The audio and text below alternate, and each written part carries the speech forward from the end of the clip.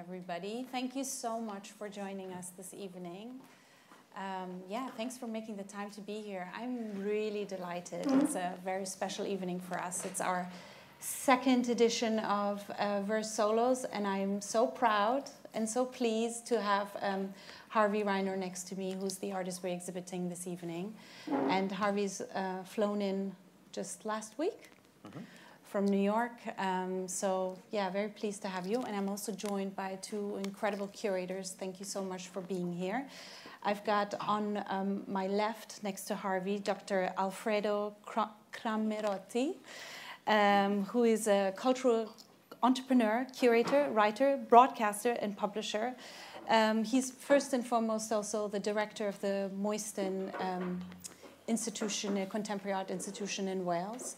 And on my right, I've got Nico Epstein, uh, who is a curator, writer, art historian, and has curated exhibitions internationally, more than 20 um, exhibitions internationally, and has helped set up some art tech um, companies uh, such as uh, Artvisor and Artrunner. So I'm really delighted to have you both here. Thank you so much uh, for being here. Thank you.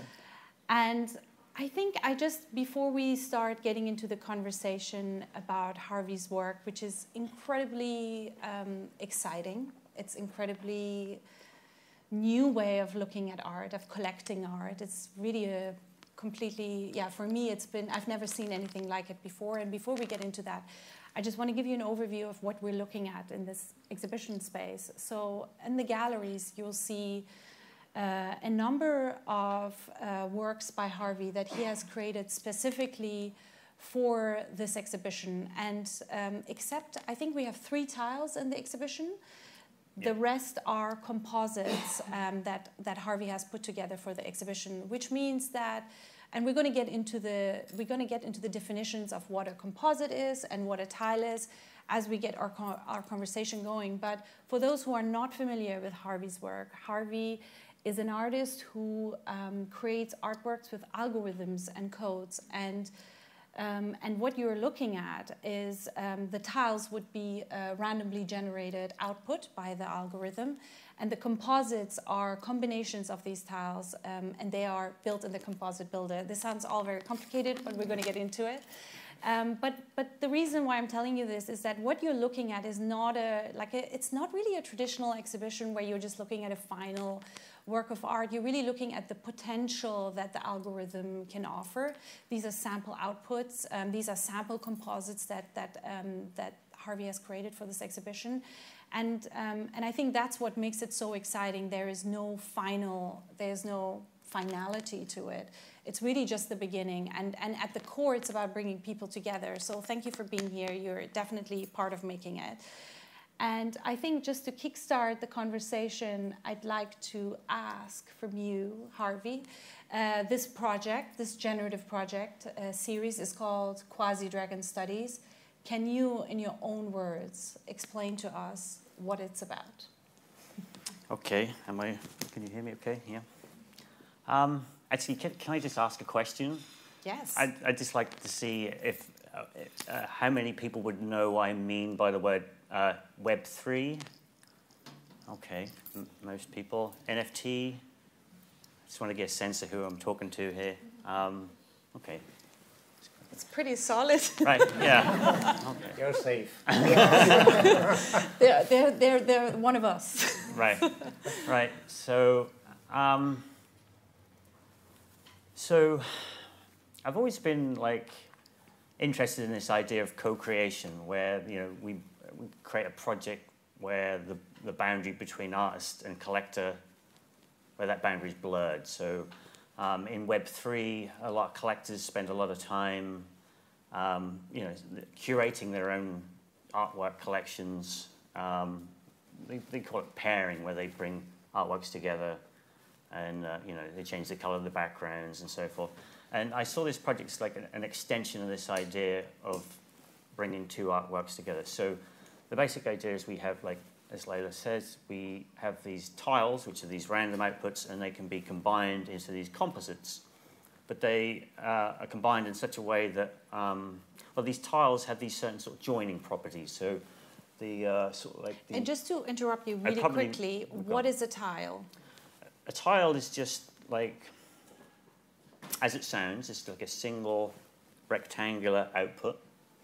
Um, shame that, That- that, that, that- that one there kind of looks like a single tile. It's actually got a blank on the right added to it, so we see a bit more of. of oh, God, it's- And it's- that a- and that is, so when you're minting, when you're, when you're going onto, you know, the, the, the, the website and you're minting the work, Mm. and the algorithm gives you a random output, that would be a tile, is that correct? Correct. Yes. Right. Yeah. So that's defined as a tile, Yeah, and that's that's the thing that the collector buys. right? And so if a collector has, say, three or four tiles, they can then go to the composite builder and they can place these tiles together in, in different ways. They can add these things called blanks, and then they can then preview these these combined pieces together.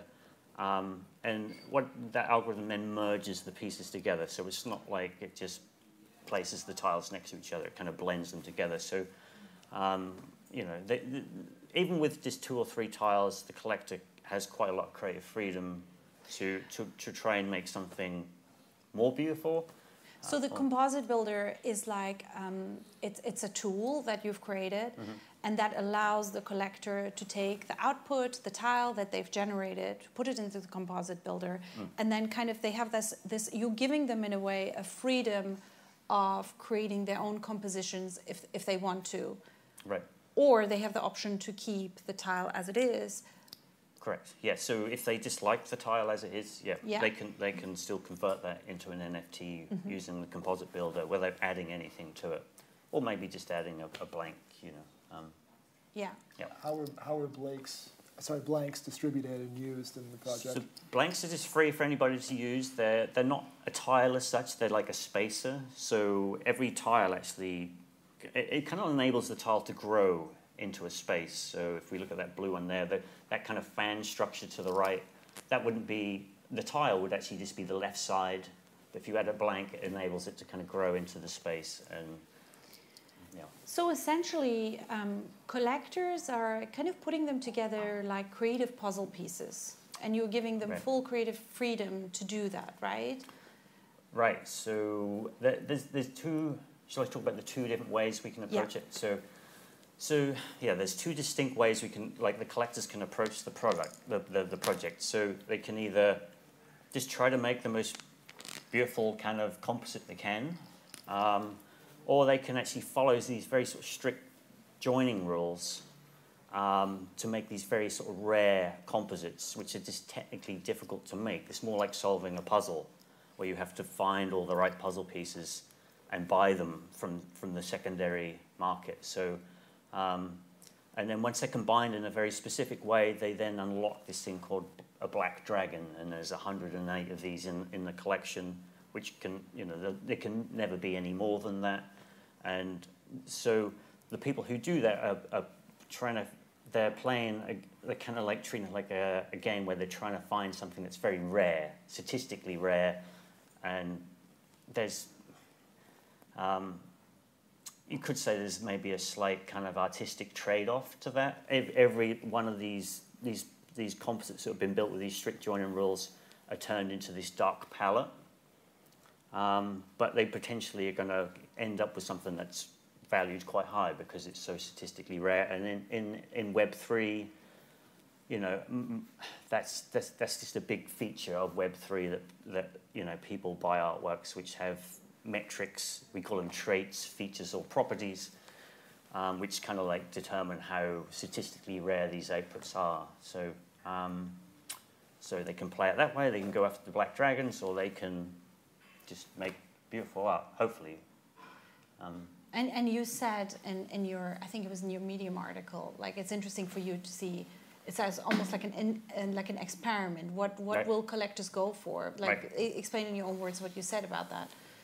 Right, yeah. So there's a lot of parts of this project which are an experiment and we don't know how it's going to pan out. But yeah, it's like, what do we care most about as a community? Do we care about statistical rarity or do we care about making art? I mean, actually, if you ask, if you survey the community, a lot of people say, oh no, we love the art more than anything. we do love but, the rarity too. but we also love the rarity because it's, you know, typically that's how we Ideally, we want both. Yeah, Um, we want a bit of speaking of which, there's two black dragons. So one is on the wall just behind, like the one I'm facing right now, and then there's another one on the left-hand side.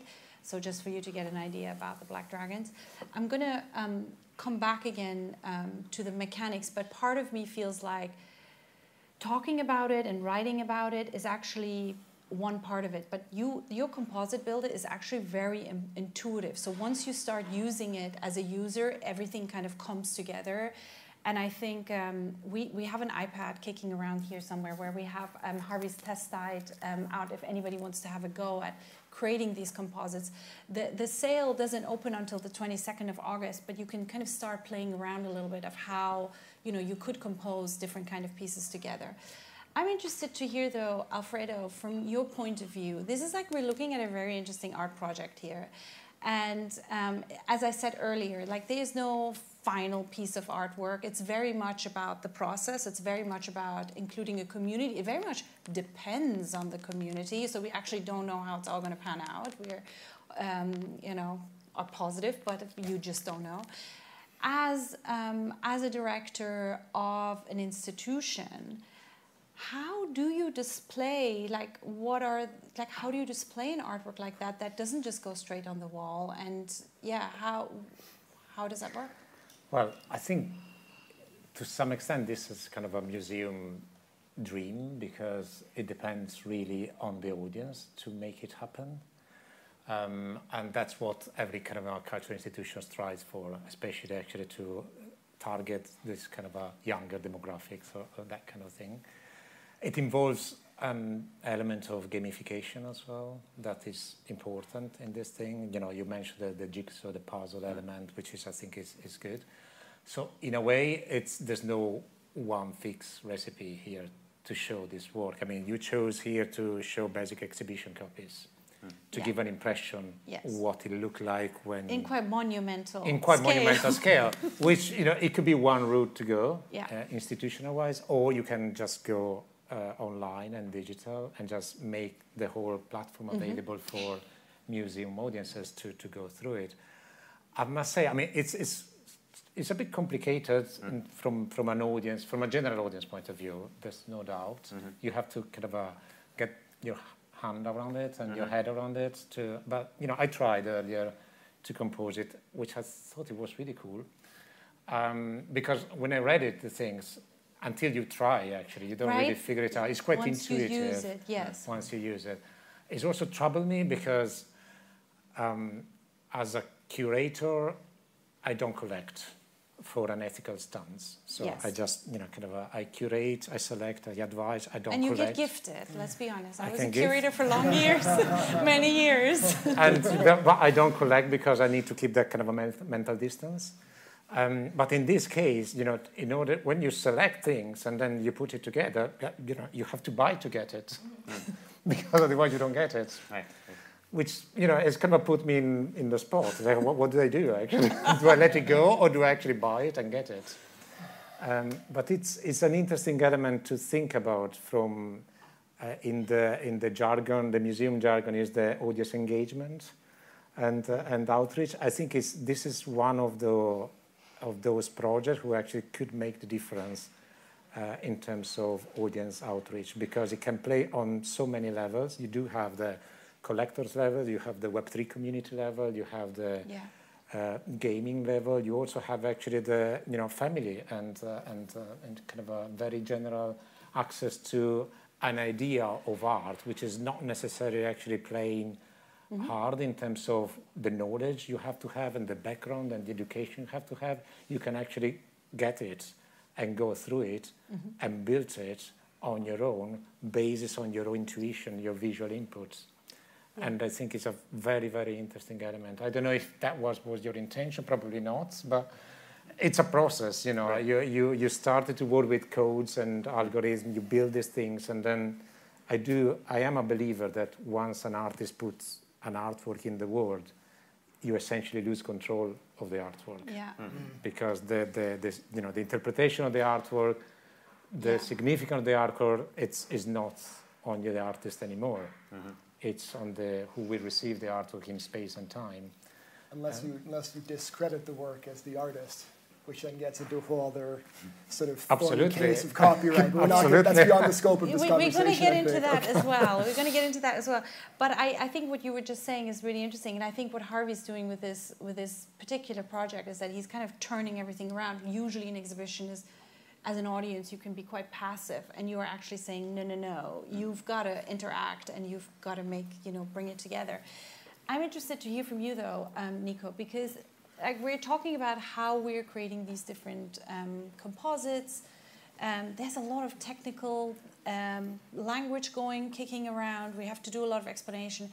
And you're somebody, you're a curator who comes from a fairly traditional art world. Um, you've, yes? Right. Yes? Yeah, no. Uh, And yeah. like, how do you onboard? Like, how do we? Because this is a challenge a I question. have as well. How do we onboard people who are not from Web three, who are who don't know anything about tiles or outputs, or like, how do we make this as exciting as we are currently finding it?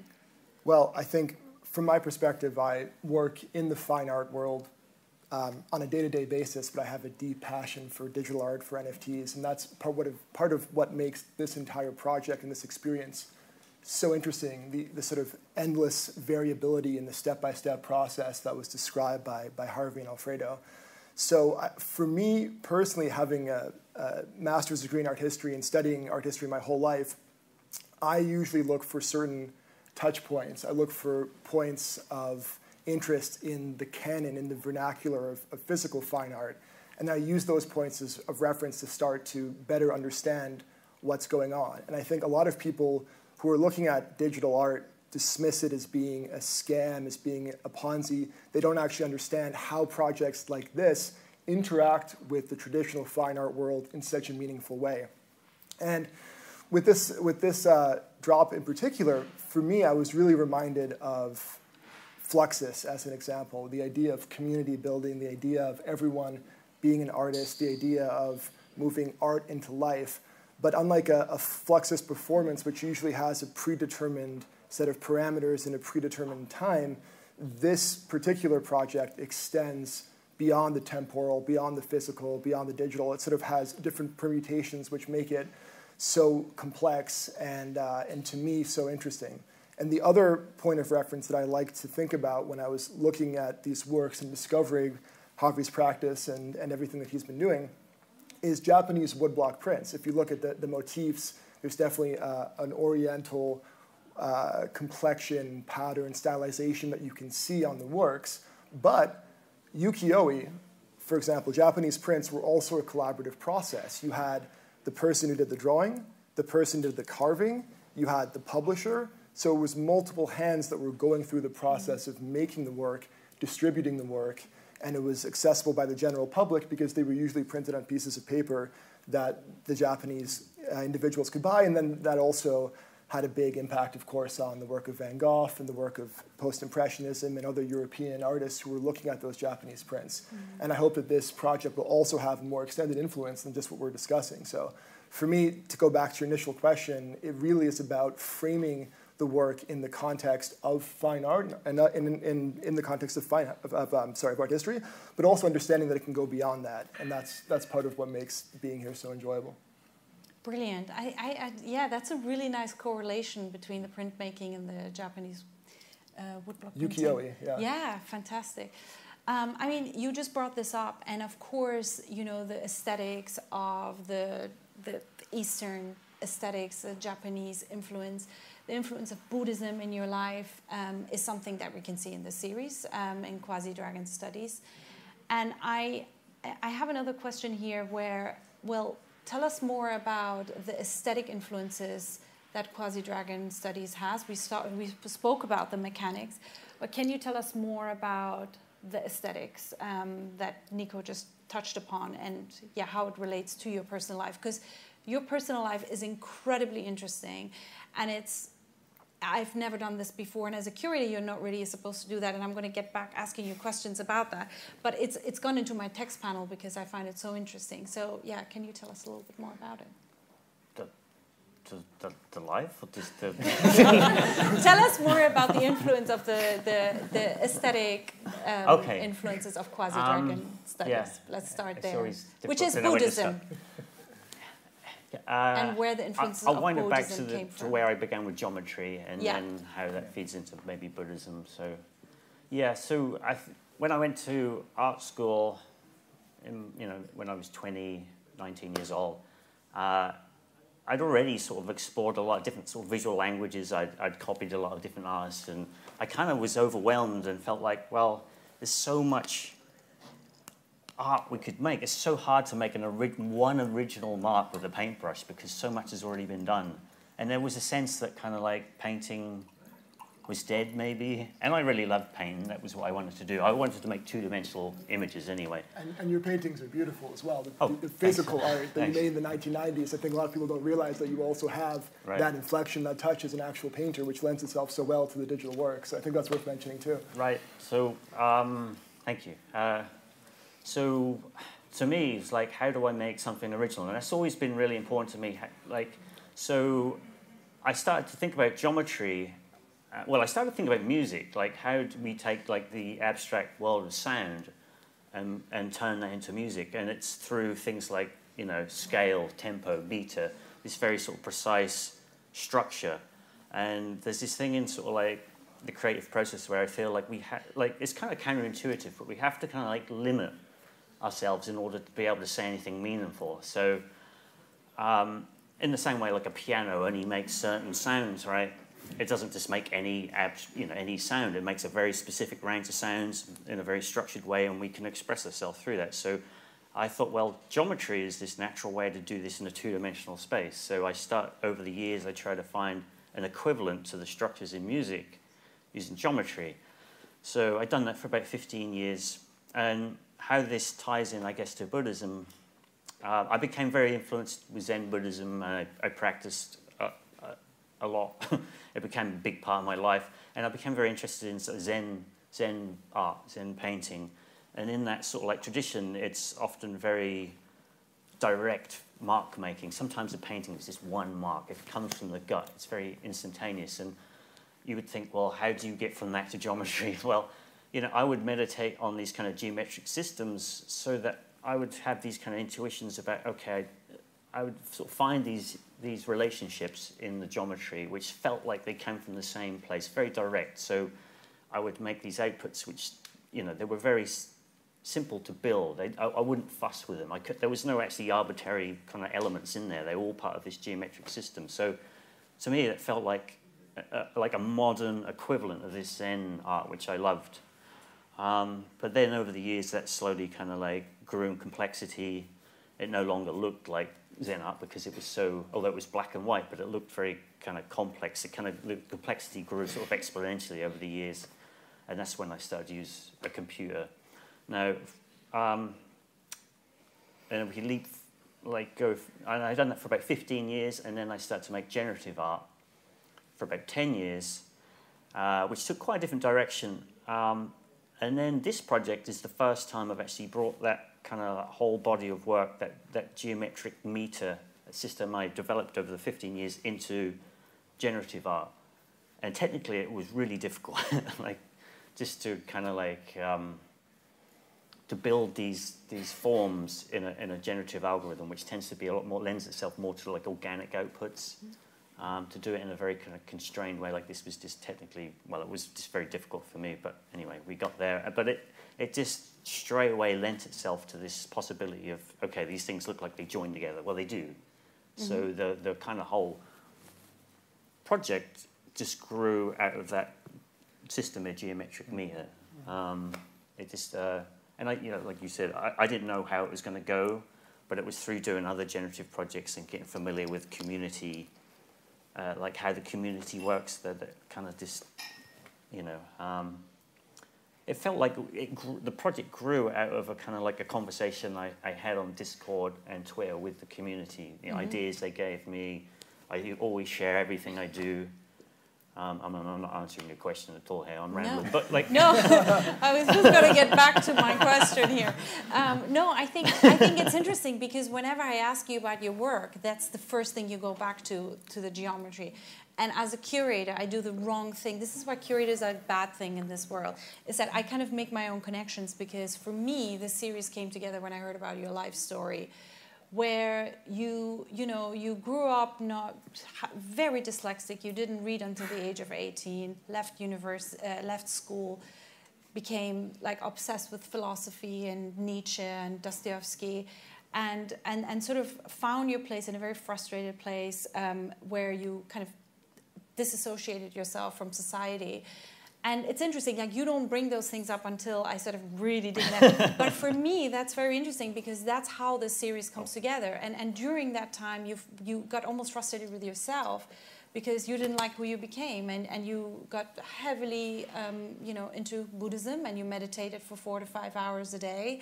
And um, and it was a very pivotal time for you where you decided to become homeless essentially for six months and and get rid of all your belongings. And for me this series is a direct like there's a direct relationship between that philosophy of life because in a way you're giving up as an artist your whole mm. ego by I'm like I'm giving away my ego I'm not the ultimate creator I'm giving it to my collectors so I see that like spirit um, that you that was so influential in your work in, in, in, in you and I want to hear from Alfredo and hmm. Nico how much do we need to detach? How important is the personal story and the biography of an artist? Um, how much do we need to detach it from in the traditional world? You're supposed to really not think about the, the biography.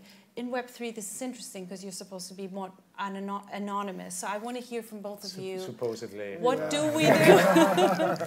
what do we do? But how think, important yeah. is the story to sell the work. Personality also in Web3 comes through it. And uh, sure. more and more actually, the, the, more actually your work circulate, the more you become visible to your community, the more people find out who you are and who you want to be. And I think it's an interesting sort of a dialectic there. It's probably a tension, mm. I think, between wanted to be anonymous and wanted to um, have a voice uh, based on who you are. I, I, think, you know, going back to your story, I, there is an interesting tension here between, you know, kind of a wanted to give, a, give up control, but also finding a structure at the same time. Mm -hmm. Because in your life, you, you, you went to look for that structure that you didn't have it, mm -hmm. being that the Zen and the geometry or the algorithm mm. in that case, and you, you, know, you move from one to the other, and you probably move to another something else in the future. Mm -hmm. But at the same time,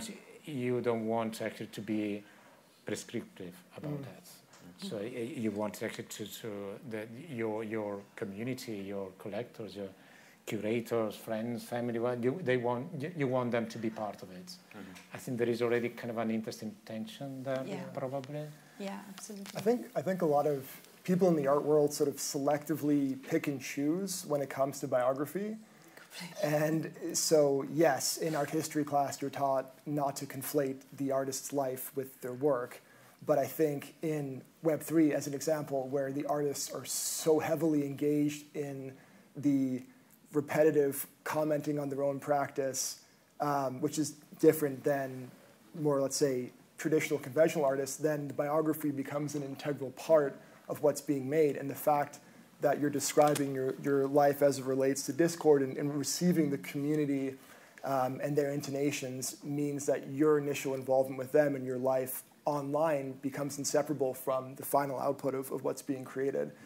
And I think, again, I have to go back to another uh, Fluxus example, but if anybody here is familiar with John Cage, John Cage was also um, a very strong adherent to Zen Buddhism. And that led to the creation of monumental works like 433, oh, where best work ever in history. Right, claim okay, but um, hands down it is. it, it, ended up being the case that John Cage, with that work, gave the uh, the power of authorship and the power of participation to the audience. The audience became the music, became the composition, became the work in the same way that we become part of the work when we're assembling tiles, when we're joining the images on the composite builder, when, when we're using blanks. And the fact that he was an adherent to Zen Buddhism and practiced that, and also the fact that he collected um, mushrooms and had all these other quirks and was a teacher, those, those parts of his personal biography segued and permeated into his practice and he was known for those things as well as his art. So I think even though we're told not to separate, we're told that, uh, to separate the life of the artist from the work, Yeah. they oftentimes manifest and cross pollinate in ways that are uh, wonderful to see. And this is this exhibition is a case in point of that. Yeah, exactly. Great. Um, I actually don't want to keep everyone for very long, but I have a. I want to sign off the, the this chat with a very interesting thing you brought up the other day, Harvey. We spoke about um, a few days ago, and you said that um, what you would like to do with this series of work is that once um, everybody, um, you know, anybody who um, basically mints their tile or their composite, you're giving them full copyrights um, to the owner uh, of the work. And I want to ask you more about that. Why why did you decide to do that? And um, yeah, more more on that. Um, yeah, it's just like a, a, a continuation of that. I mean, it just seems the right thing to do. Um, I, I actually just think it makes perfect sense. You know, you think about the the Mona Lisa, right? The more postcards, tea towels, and things there are in existence with the Mona Lisa face on, the, the more the Mona Lisa is worth, the, the more sort of like special that becomes, right? So it's a it's just an extension of that that idea. Um, and with this project in particular, I mean, I think a lot of people in Web three don't realize that they don't own the intellectual property of a piece, but we want to you know explicitly state that and encourage people to go away and do whatever, make a shirt from your. I mean, you can't just you can't make a, a t-shirt out of any token. You can only make it the, the composite you own, but you can do what you want with it. And I, I think it's going to be. It's just I just see that as the future of this space. I think we'll see more and more projects do that. Hmm. I, I mean, it, it's interesting because you know, I've I've also worked for so long in isolation, being very precious about my work, mm-hmm. and nobody saw it. Yeah. so this is like I've completely swung the opposite direction, and as an artist, I actually wanted to, you know, one of the things I want to do next year is start to document my life on film. Well, my practice, you know, invite every couple of weeks have somebody come to my studio and film me getting angry, Yeah. so, go, follow me in the whole process, and and um, so that What yeah, would you do with that? I would put on YouTube and just uh, watch, let people watch it. But um, I'm just, I'm just thinking Right. about Erkki, I'll turn it into an NFT. you're thinking about both. the, the life of Erkki Kurenniemi, Right. the Finnish composer and artist. Right. He died actually a few years ago. Oh and- dear, that Harvey don't do it. No, no, no. Well, you know, he I mean, was, I just, mean- you know, he had a certain age, but he obsessively documented his life Right. in uh, in film and video and photography since you know the 50s or whatever. And um, and it was part of his practice really. He was composing music. He was doing kind of a electro visual mm. composition, kind mm. of a super experimental stuff. Mm. And I'm not quite sure what happened with all the documentation of life because it was really kind of a every day, not just every couple of weeks. Okay. It was like Yeah. I haven't digged into that. But isn't that what we're doing today? I mean, I Yeah, find that people way. are extremely over communicative over every single thing that they're doing right now. So aren't we, in a way, documenting a version of what we are every day anyway? Sure, that for sure. But he's wanted to do it with a purpose, though. Yes. And that was I was investigating Yeah. the purpose. Yes, yes. but um, but what's interesting also about the copyright is that with these works, with these composites, it's pretty insane because you can print them at the sizes that you're looking at, and that's like it's a gift, big thing to give away. Because, Nico, am I right to think that in the in the traditional art world, um, and I threw a lot of people off with that traditional art, I think, but isn't that true that really ultimately the rights of the artist are always uh, sorry the rights of the art artwork are always with the artist ultimately. So how does that how does that work, think- and will this change things in the in Well, the contemporary art If, field? if you believe in the utopian potential of hard-coded smart contracts in the Web3 space, then logic has it that the artists or the publishers can then actually bake in the royalty and the copyright contingent and, and these types of attributes to the work itself, which is, for me, one of the reasons that I find this space so interesting because of the control that these different parties have, how they operate together, and how it's manifested in, in, in digital code. So typically, my understanding, not a copyright lawyer would be that the artist usually has the ultimate copyright to their work uh, in terms of the, the reproduction and the other sort of uh, things that the images can be used by. And oftentimes that's used with, and that's oftentimes baked within the, the contract or the invoice when the work is sold, uh, that the artist maintains that. But in this case, if it was Harvey's volition to allow other people to maintain copyright, then that would be his ultimate call. And that's something that I think is really interesting. And then that segues nicely into another question that I was going to ask you, which is if individuals were interested in having the physical copy of the work, would Could they do it? Could they do it? And would you sign it? And then what happens to the copyright after that physical work is printed? Uh, so they will be able to download a high-res file from the composite builder. Um, maybe, maybe they could, yeah, they could print it this size. But I mean, um, there's a limit on how high-res I can supply that. You know, um, would I sign it? Um, just I like I, I, I would if I could logistically do it. You know, like it just turns into like I, I'm careful about what I promise because logistically, if I end up with twenty, you know, like hundred people saying, "Okay, you promised me a sign print," I mean, how do I go? How do I do that? I don't know. Because So- they could generate more than one print. Yeah. yeah, right. So I'm, I'm, I mean, we're being filmed, so I'm going to just be careful about what I commit But um, in theory, you know, if I, if if if they if they brought, you know, if they sent it to me, I'd be happy to sign it with a return label. You know. Um, I have two other yeah. I have two other questions about the physical permutation of the work. Do you have any specifications for the quality of the print? The No. pro- okay. Third question: If somebody buys the NFT, prints the work, Mm. and then they sell the physical work, but they don't sell the NFT, how would you feel about that? It's fine. Okay. Yeah. Yeah. Yeah, it's it's no constraints whatsoever. But doesn't that then sort can of make a- create a schism in the value of the digital token and the actual physical product, which then have a separate life outside of what you originally intended?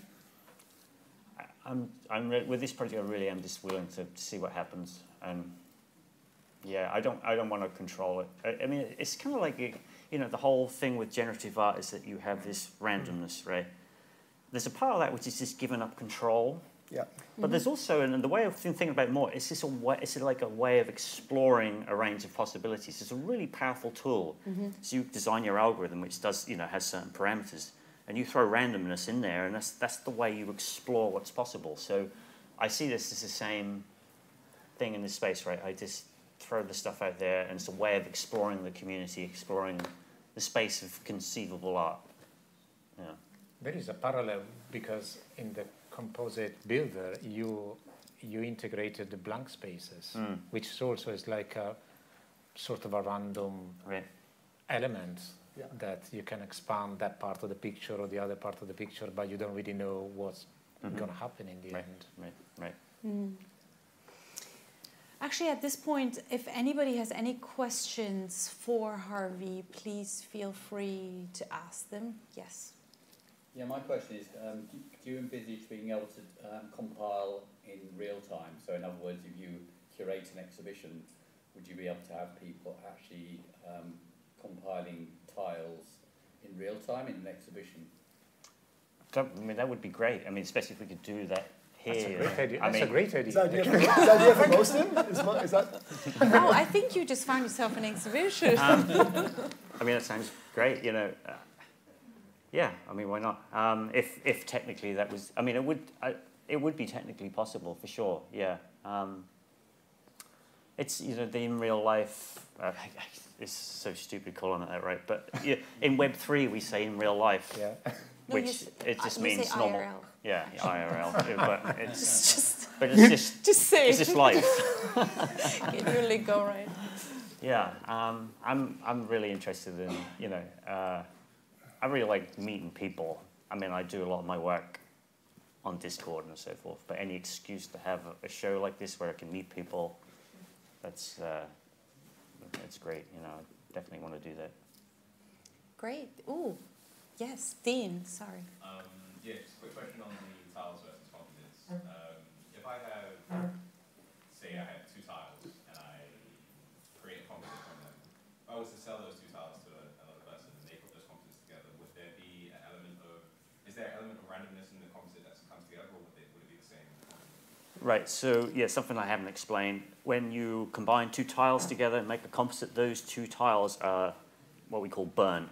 They're, they're just, they they no longer exist, so they can't be handed off to somebody else. To, yeah, so, and like I say, if you just like, really like those two tiles, you can also convert them into two, two NFTs just as they are. So Well, when they become the composite, Hmm. you don't necessarily have to.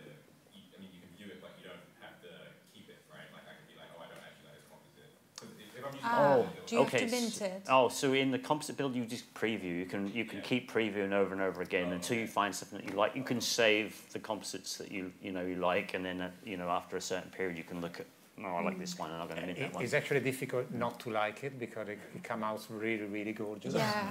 Whatever combination And you it's choose. different. You put the tiles together, but then until you click preview, you don't. You 'cause don't really they- they realize then how they combine, and transform. it's yes. like, wow. You had another question there. Yes. Two questions. Yes. One, are we going to be able to fool with this ahead of the mint?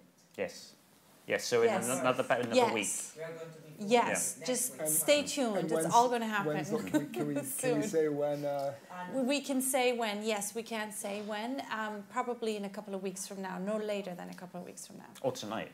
Or on tonight. the iPad. Or tonight Or on the tonight. iPad, you can have a play. No, no, I can wait. Uh, Yes. Sorry. A personal question.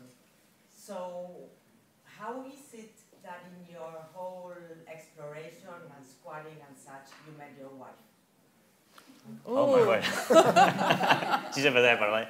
Um, Yeah, how were, yeah, So- how did that happen? I, I'm going to keep this quick because it's going go on. So, um, you know, so as Leila described, I, I, I entered this period where I kind of got really deeply into a meditation practice, and that, you know, where I was meditating for a lot, you know, three, four, five hours daily, and that went on for about two years, and, and that kind of culminated where I, I, I decided I was going to go and live in a in a monastery in Rochester, well, not a monastery, but a Zen center in, in Rochester. And so I sold everything. I flew to Rochester. I hitchhiked there. It took a couple of weeks, and uh, I got there. And actually, it wasn't what I thought it was. I kind of I had all these ideals about what it was to practice Zen, and they, they gave me this leaflet that said I had to pay sixty bucks to do a workshop. And I said, no, I don't, I don't want nothing, to do with you guys. So, but then I continued that life. I just hitchhiked around America, living, you know, just continuing to, to meditate under bridges or sleeping on the streets and eating food out of trash cans and like, like just like a bum, you know.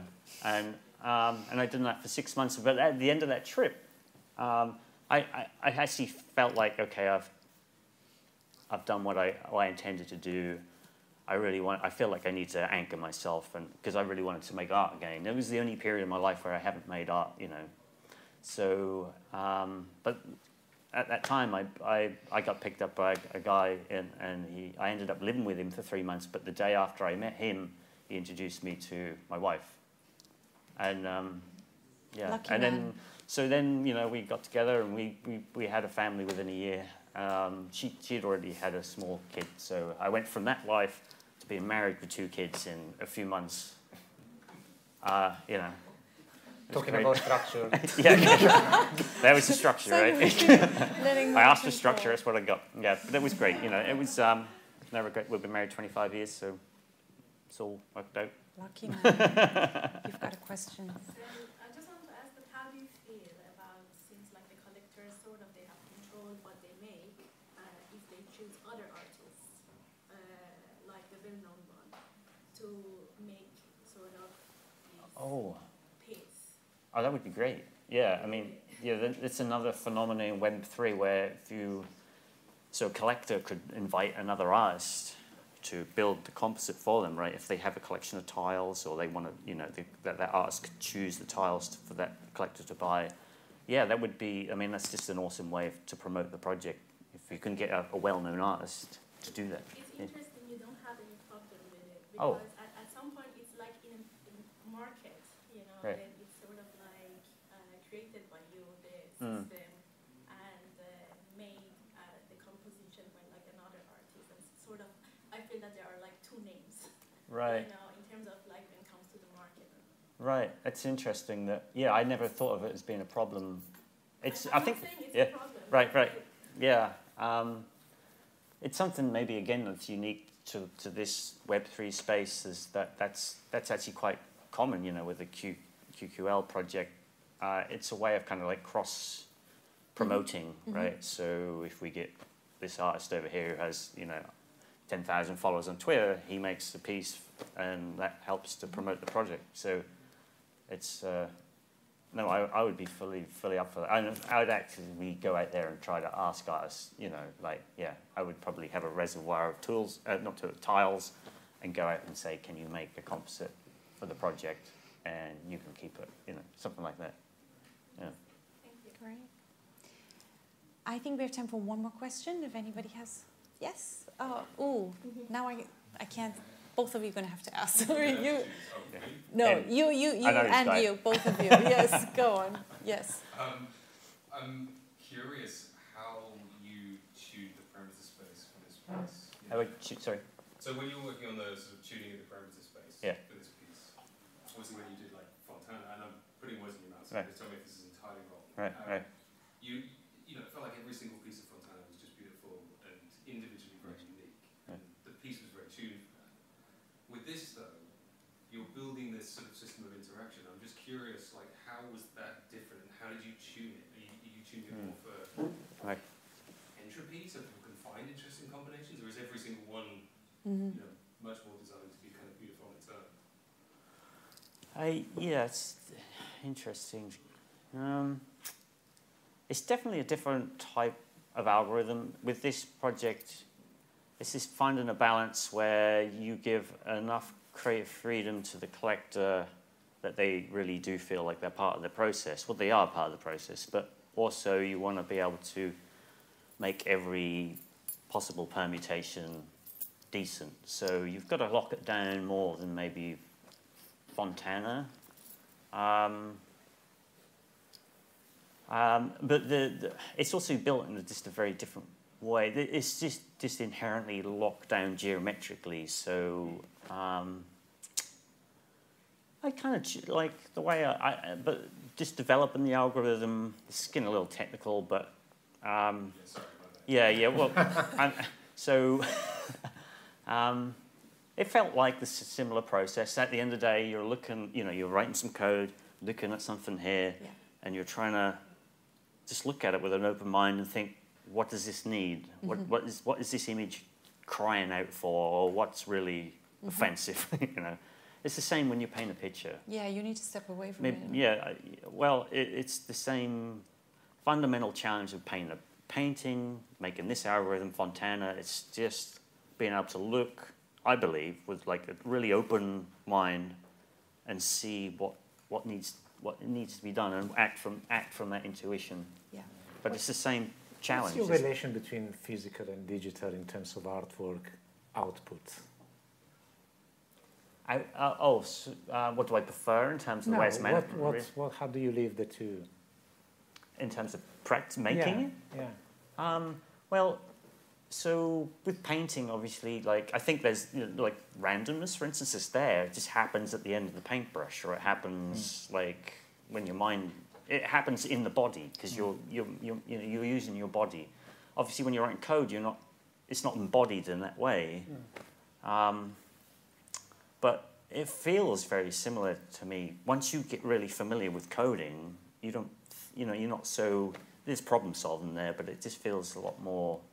Knowing how to stop, when to stop, for instance. that kind of Yeah, yeah. It's still it's still all the same problems of trying to make good art. You know. Um, I mean, it's the same. Like if I make a sculpture, I need a certain technical set of skills uh, and problem solving to, to, to make it work. But just, The approach is very similar. the, the approach is very similar. So the, the only the difference, like to answer your question, is that it's just not embodied, maybe. But then if I'm like a, a writer, right, I can be creative. Uh, we don't question that, or a mathematician. They're, they're creative. I have to ask an inter, sorry, I have to ask No, an inter, interrelated uh, question that um, ties into both of what they asked, which is when you approach the parameters of the algorithm and also the, the, um, the formal aesthetic of the works, do you have a specific number of colors that you use, style of color that you use? I notice there's a lot of blue in the work. Hmm. Blue also has Hindu symbolism. Is there particular parameters that determine the number of colors that appear in each of the tiles individually. Mm. And then secondarily, Black Dragon, why did you decide black? Because all the colors come together, or it's Right. evil, or Yeah. Um, so color um, with my previous uh, with the previous project Fontana was the first project I ever built this color algorithm. So it was generative color. So every output is different color. Right. Although we, you know, um, so if you think the, the way that works is. Um, if you think about all possible colors in a three-dimensional space, you often see it represented on lines, kind of like a cylinder or so forth. Um, I'm kind of like in making a color algorithm, I'm kind of carving that space. I'm taking stuff away and I say, okay, the piece that remains, that's the space of color I want to use. And then you're trying to create cle clever ways of kind of like navigate going through that space so it picks colors along the way and puts in the work. So that's, this, this project's also generative color. So every output, although there's similar colors there, every, every one is unique. Um, so there's no, there's no, pr- often in generative art, a lot of people will use preset color palettes and maybe, I mean, that has an advantage because you Right. give each one a name and then that, that feeds into the rarity and so you can make one of them particularly rare.